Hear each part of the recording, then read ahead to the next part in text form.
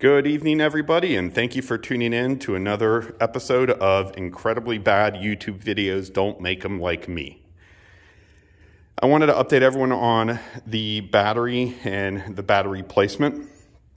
Um, the comments are spot on when they're talking about load distribution.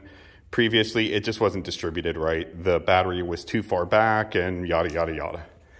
Now, this battery is significantly bigger than the old one, a lot heavier than the old one.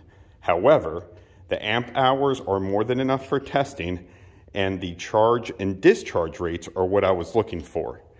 These motors suck up power crazy fast. And the only batteries that I could find with adequate discharge rates are these flat cells.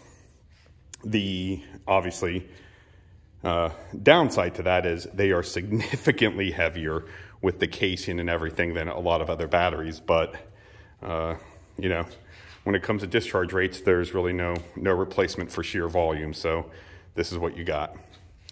The battery's positioned fairly centered. I mean, before I take it up, I'll, you know, maneuver it a little bit.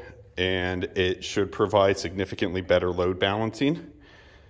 So yeah, I just wanted to update everyone and genuinely thank you for your questions, your concern, and your advice. And I really just wanted to show everyone what this concoction of brains, wires, batteries, and everything looks like. Um, I should be ready to fly this weekend. I'll post any update videos along the way, but until then, thank you again and hope to hear from you.